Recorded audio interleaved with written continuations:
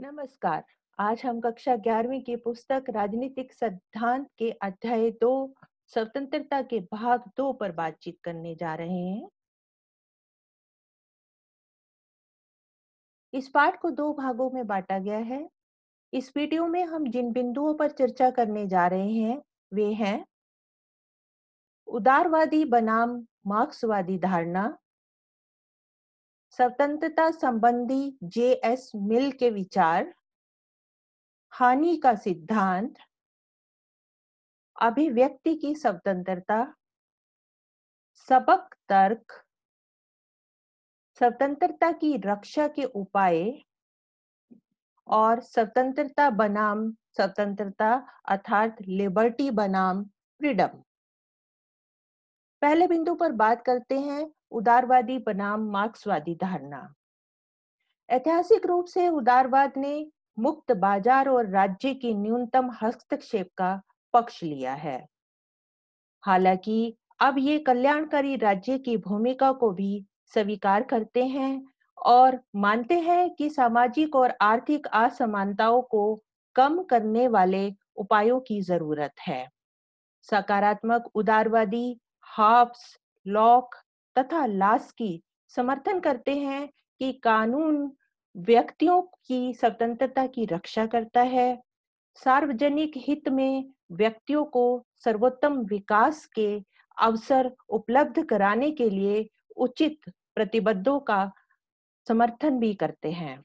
उदारवादी व्यक्तिगत स्वतंत्रता को समानता जैसे मूल्यों से अधिक वरीयता देते हैं। वे आमतौर पर राजनीतिक सत्ता को भी संदेह की नज़र से देखते हैं। मार्क्सवादी सामाजिक जीवन के ढांचे से उपलब्ध आर्थिक स्वतंत्रता को महत्व देते हैं। स्वतंत्रता की मार्क्सवादी धारणा सभी लोगों के लिए उनके समान हितों की कामना करती है। वर्गों के बोझ से दबे बुज़ुर्ग समाज में उसके निहितार्थ भिन्न वर्गों के लिए भिन्न होते हैं। इसीलिए जब तक पूंजीवादी व्यवस्था के स्थान पर समाजवादी व्यवस्था नहीं आ जाती, तब तक वास्तविक स्वतंत्रता संभव नहीं है। दूसरा बिंदु है स्वतंत्रता संबंधी जे एस मिल के विचार। जे एस मिल ने स्वतंत्रता संबंधी व्यक्ति के कार्यों को दो भागों में बांटा है। पर संबंध कार्य या स्व संबंध कार्य स्व संबंध कार्यों में वे कार्य हैं जिनके प्रभाव केवल इन कार्यों को करने वाले व्यक्ति पर पड़ते हैं। इन कार्यों व निर्णयों के मामले में राज्य या किसी बाहरी सत्ता को कोई हस्तक्षेप करने की ज़रूरत नहीं है। पर संबंध कार्यों में वे कार्य जिनका प्रभाव कर्ता के अलावा लोगों पर भी पड़ता है और ऐसे कार्य जो दूसरे को नुकसान पहुँचा सकते हैं, उन पर राज्य बाहरी प्रतिबंध लगा सकते हैं।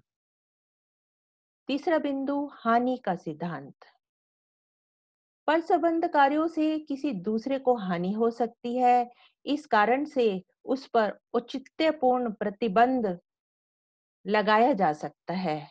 राज्य का किसी व्यक्ति के कार्यों व इच्छा के खिलाफ प्रतिबंध लगाने का उद्देश्य किसी अन्य को हानि से बचाना होता है, इसे ही हानि का सिद्धांत कहते हैं। चौथा बिंदु है अभिव्यक्ति की स्वतंत्रता। अभिव्यक्ति की स्वतंत्रता का मुद्दा अहस्तक्षेप के लघुत्तम क्षेत्र से जुड़ा है। जान स्टुअर्ट मिल के द्वारा अपनी पुस्तक आन लिबर्टी में सबल तर्क रखते हुए कहा गया कि अभिव्यक्ति की स्वतंत्रता उन्हें भी होनी चाहिए जिनके विचार आज की स्थितियों में गलत और भ्रामक लग रहे हों। पांचवा बिंदु है सबक तर्क। कोई भी विचार पूरी तरह से गलत नहीं होता, उसमें सच्चाई का कुछ अंश ज़रूर होता है। सत्य स्वयं से उत्पन्न नहीं होता बल्कि विरोधी विचारों के टकराव से पैदा होता है। जब किसी विचार के समक्ष एक विरोधी विचार आता है, तभी उस विचार की विश्वसनीयता सिद्ध होती है। जो सत्य है, वह हमेशा सत्य नहीं रह सकता।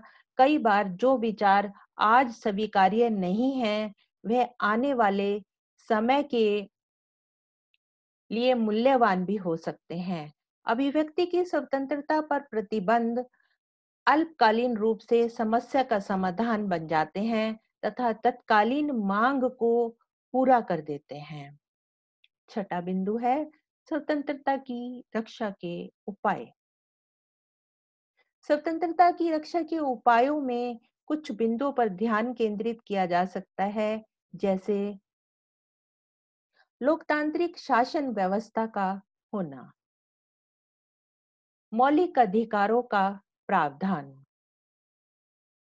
न्यायपालिका की स्वतंत्रता। शक्तियों का विकेंद्रीकरण। शक्तिशाली विरोधी दल। आर्थिक समानता। विशेषाधिकार का न होना। जागरूक जनमत का होना आदि। सातवां बिंदु है स्वतंत्रता लिबर्टी बनाम स्वतंत्रता फ्रीडम हम प्राय स्वतंत्रता संकल्पना को फ्रीडम तथा लिबर्टी के समानार्थक शब्दों के रूप में प्रयोग होते हुए देखते हैं, परंतु इन दोनों संकल्पनाओं के मध्य कुछ मूलभूत अंतर भी हैं, जिन्हें समझना आवश्यक है। लिबर्टी लैटिन शब्द लिबरेटम से आया है, जिसका अर्थ है मुक्त व्यक्ति की स्थिति। जबकि स्वतंत्रता फ्रीडम अंग्रेज़ी शब्द फ्रीडम से बना है, जिसका अर्थ है मुक्त राज्य। लिबर्टी व्यक्ति की स्वयं की इच्छा के अनुसार कार्य करने तथा स्वयं को अभिव्यक्त करने की शक्ति है। जबकि फ्रीडम किसी के कार्य को निश्चित करने की शक्ति होती है। फ्रीडम लिबर्टी से अधिक ठोस संकल्पना है। फ्रीडम व्यक्ति के राज्य के साथ, अन्य व्यक्तियों के साथ एवं परिस्थितियों के साथ संबंध की संकल्पना है।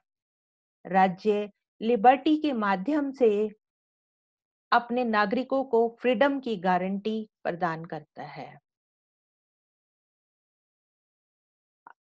स्वतंत्रता फ्रीडम के रूप में एक मुक्त व्यक्ति की स्थिति है।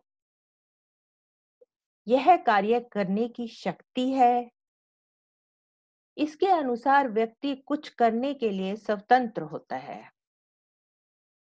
स्वतंत्रता लिबर्टी के रूप में हम जान सकते हैं कि यह स्वतंत्र इच्छा की अवस्था है। यह निर्णय लेने की शक्ति देती है। किसी से स्वतंत्र होने की अवस्था भी होती है। इन दोनों संकल्पनाओं के मध्य एक सामान्य विशेषता यह है कि ये दोनों असंबंधित हैं, अर्थात एक दूसरे की प्राप्ति में बाधा मुक्त हैं। इसके अतिरिक्त दोनों अपने बोध के संदर्भ में नैतिक अनुरूपता का पालन करते हैं। अंत में, आज की चर्चा के अंत में हम पाठ के जिन बिंदुओं के बारे में जानकारी प्राप्त कर पाए वे हैं।